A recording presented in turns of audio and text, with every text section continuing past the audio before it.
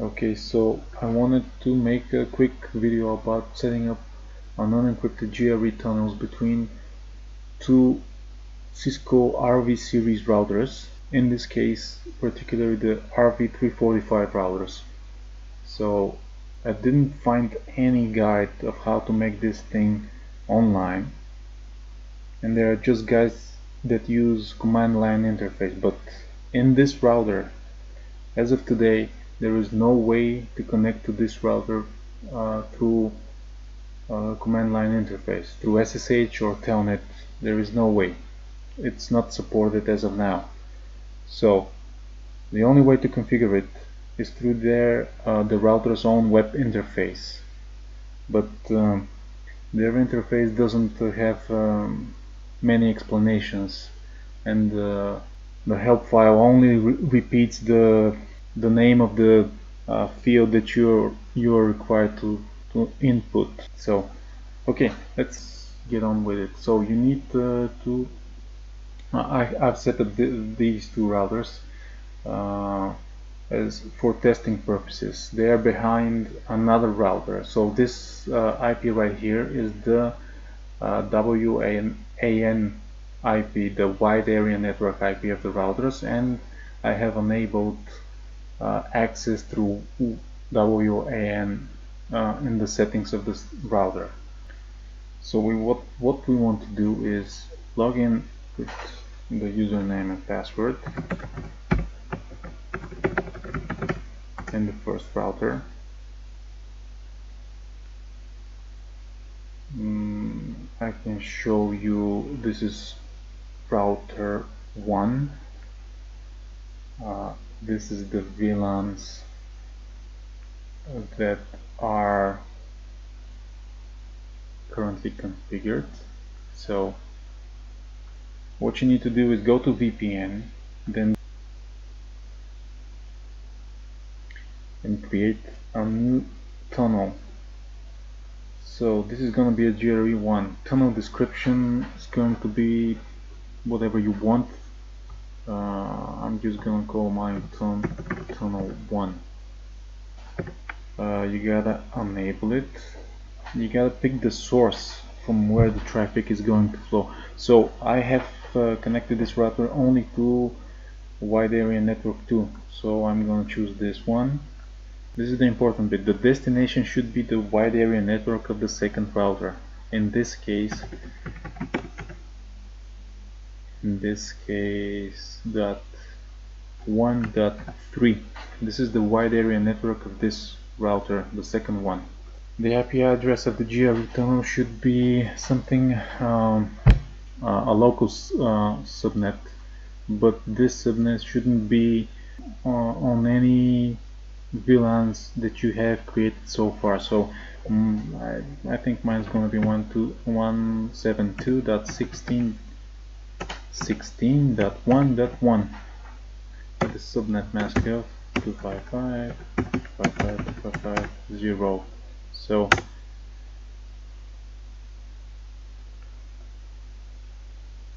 okay. I'm sorry this thing is a bit finicky so you gotta save the configuration before uh, you can make any changes the GRE tunnel table because they're not uh, they're not gonna show up any changes you made. So uh, here we go again. So tunnel 1 enable we set wide area network 2 destination is the wide area network, network IP of the second router. So uh, dot 1.3 uh, local IP address for this router uh, for this uh, tunnel sorry. So 1.1 uh, the subnet mask is, uh, 250 so I'll click apply and let's see if this time the tunnel is gonna show up.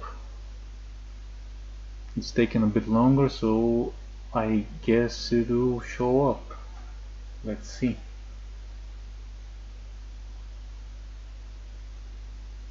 Okay so there we go. Uh, this thing uh, says connected but uh, even when you enable it, it, it always says connected. So this connect connection stat status doesn't mean anything. So uh, we're going to test this uh, in a little bit. So uh, we go to the second router enter the username and password.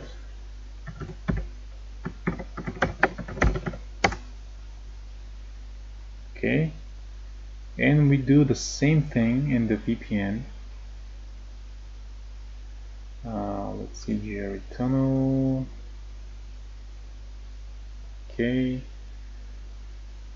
And uh, you can see that the save the running configuration is flashing so I don't know if it's going to save this configuration that I'm typing in right now but we will see about this. So again tunnel description anything you like. I'm gonna name it again tunnel tunnel 1 I'm gonna enable it. Again this is the wide area network. Mm, uh, uh, this router is connected to wide area network number 2 so this router has two ports so this is number 2 the destination is the the destination is the wide area network uh, IP sorry IP of the first router. So one this is the wide area network not the local IP I'm saying this again so one two. This is the IP address of the GRE tunnel but in this case uh, we're gonna finish this IP local IP address with a 2 because this is the second router. Uh, okay and we click apply. Let's see.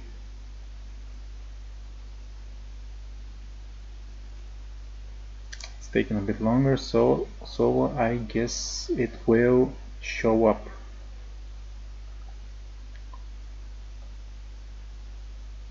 okay there it is.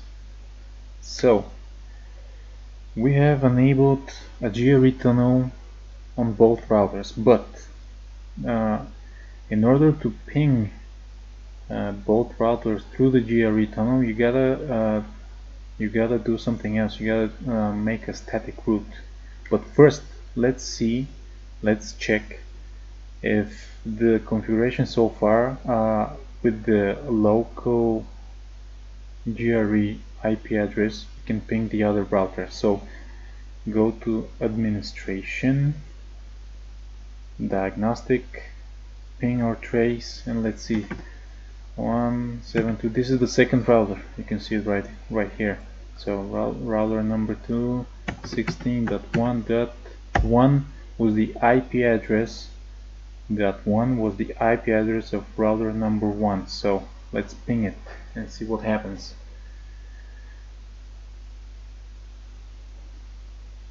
Okay so we get a reply.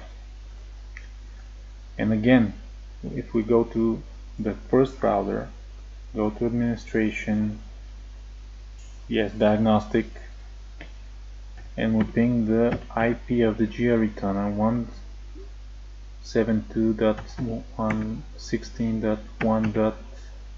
172.116.1.2 was the second router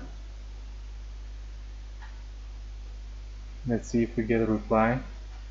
Yes and we get a reply. So in order to finish the configuration if I if I do a ping 192.168.124.1 uh, not, so 124 was the VLAN of the second router I didn't show you this I think. Let me show you real quick. LAN VLAN settings. And there it is.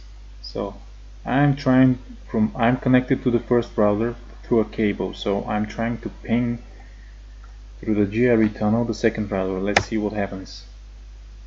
Nothing happens. The destination is not reachable. So to have a GRE connection between the two routers and the computers connected to them you have to do one more thing. So we have to go to routing static routing and the IP v4 route table you need to add an entry. So the network is the subnet of the second router. So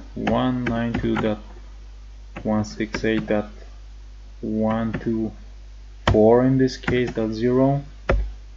And the next hop is going to be the IP address of the second router uh, but the local GRE IP address. So 172.16.1.2 and this is the important bit. The interface should be GRE1 so we want to pass the packets through GRE1 we hit apply.